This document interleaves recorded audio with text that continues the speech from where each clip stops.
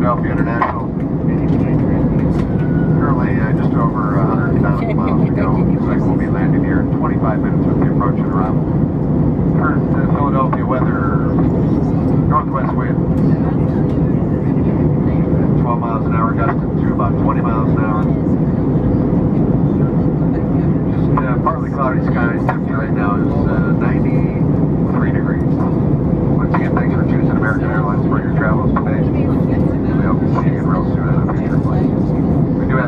You do double check the security of your seatbelts and keep those fastened until we've arrived at the gate.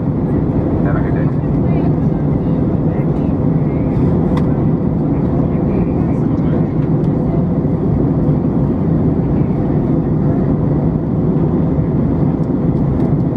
And now's a good time to begin powering down your larger electronic devices. We'll ask you to put away your devices in a few minutes.